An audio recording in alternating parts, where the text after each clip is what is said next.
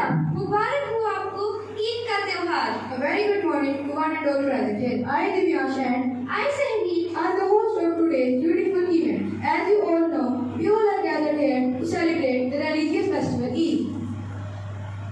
Eid is a wonderful and nice pray, care, love, smile and celebrate with one another and to thank Allah for giving us this wonderful day.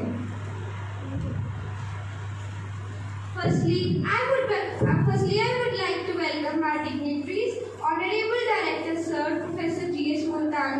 ma'am.